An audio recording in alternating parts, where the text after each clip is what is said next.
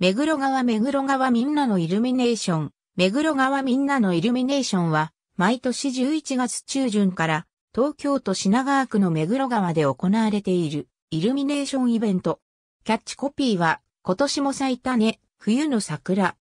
2010年12月3日、みんなで街への愛着と誇りを育んでいきたいという思いから始まった街の景観資源を生かした冬の風物詩としてメイン会場である五反田ふれあい水辺広場を中心に川沿いの桜並木をオリジナルの桜色 LED で装飾。冬の桜の通称で親しまれている。イルミネーションに使われているのは廃食油を資源としたバイオディーゼル燃料による自家発電である。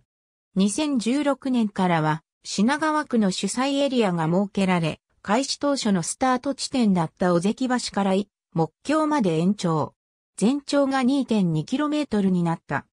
開催期間は2015年までは12月25日までだったが、2016年からは翌年1月の第2月曜日まで延長して行われている。点灯式には2015年は大崎一番太郎とメグロン、2017年と2018年はサンリオキャラクターで品川観光大使のシナモロールがそれぞれ参加した。2019年は開催10回目を記念して品川区立御殿山小学校金管バンドクラブ、品川区立日野学園ブラスバンド部、品川区法学連盟、大井権現太鼓保存会、冬の桜トリオが出演し、冬の桜、ブルームコンサートを開催した。